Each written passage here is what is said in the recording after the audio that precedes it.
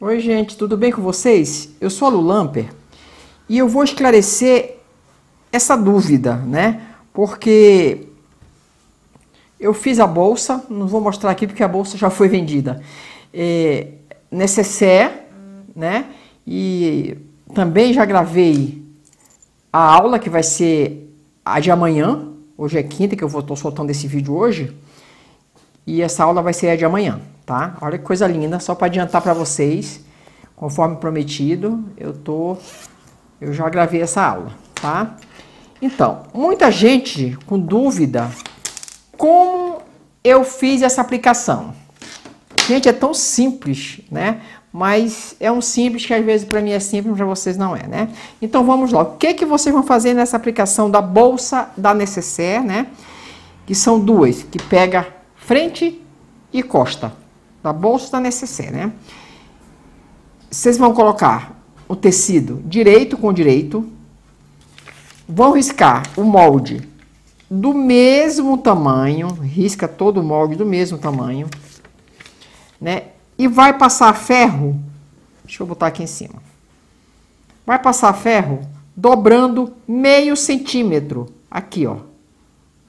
Pronto, vai dobrando meio centímetro Dobrou esse meio centímetro no ferro, aqui, ó, vai dobrando, né? E vai passando a ferro. Só é posicionar na peça, aqui, ó. Posiciona na peça principal, né? Olha. Coloca o alfinete, a prender. Né? Isso aqui tem que estar tá bem passadinha. Olha, e vai na máquina com essa dobrinha aqui virada, né? Já tá bem passadinha.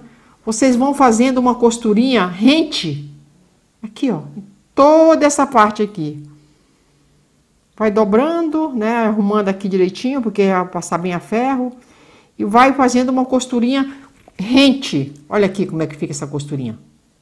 Assim, bem rente mesmo. Em toda essa volta, ó faz essa costurinha, tá? E a faz, a, faz a aplicação da outra do outro lado. Uma é desse lado, opa, ó, uma é desse lado, né? E a outra vai pro outro lado, que é essa aqui, assim, tá? Então, é isso que é feito. Fez essa costurinha aqui para prender, coloca uma costura aqui, tipo um alinhavo, e outra aqui embaixo para prender essa parte aqui que é essa aplicação, né? Que estão perguntando. Então, tá esclarecida a dúvida, tá? E outra, gente que perguntou, Lu, tu não falou sobre é, a caixinha de leite.